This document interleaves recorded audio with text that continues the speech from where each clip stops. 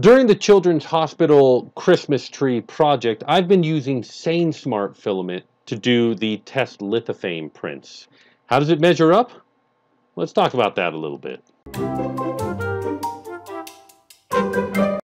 SainSmart sent me a roll of their white PLA filament and their transparent pink PET G, which I use in my volcano print because I want to put a light in here and have it kind of shine through a little bit. So that was cool, but let's let's talk a little bit about their white filament and how it worked for my lithophane projects. Now, is it good filament?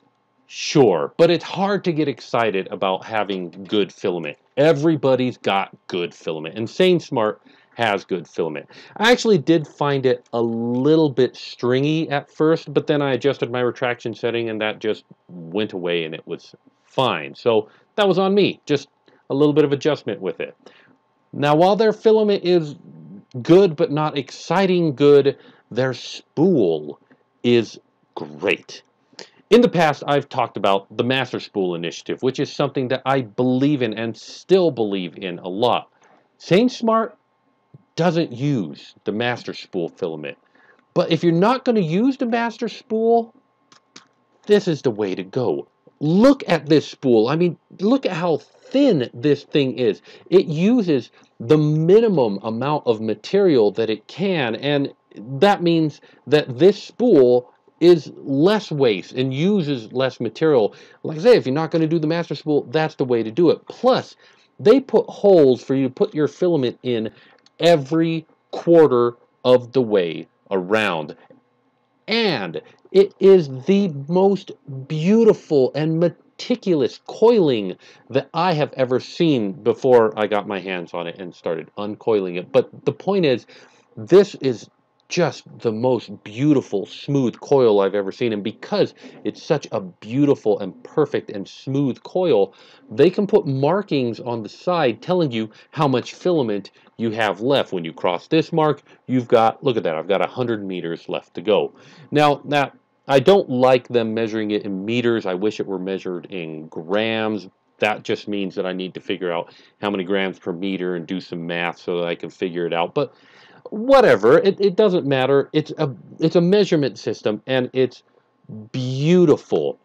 And that only works if your coil is tight and regular and their coil is the most beautiful I've ever seen.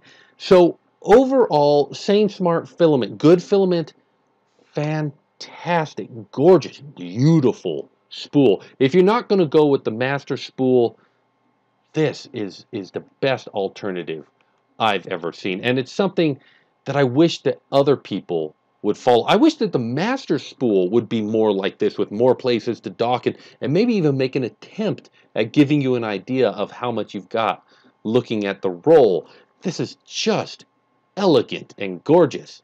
I do. I really enjoy it. I love it.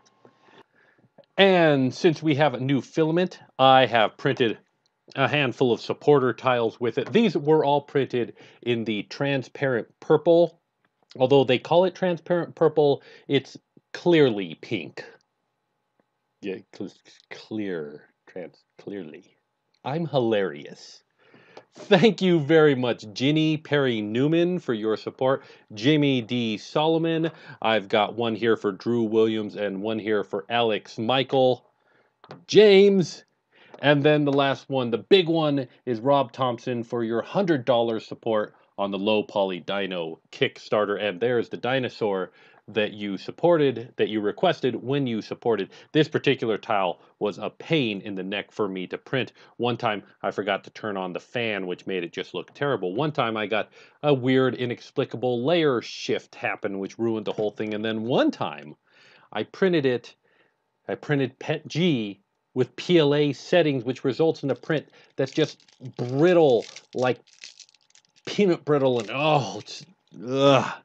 But I finally got it right. And so now I get to take these tiles, all of them, I get to put them up on my supporter uh, mosaic. And you know that I love doing that because it's just like building a puzzle, and I love that.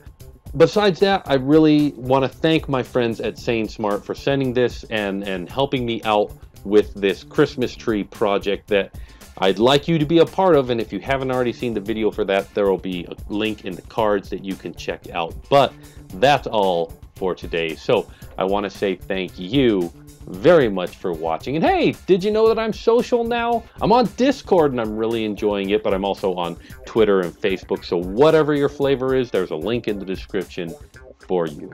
Big thanks to my Patreon and direct backers. You guys are the wind beneath my wings. Thank you. Thank you very much. And as always, I want to remind you guys safety first. I'll see you next time.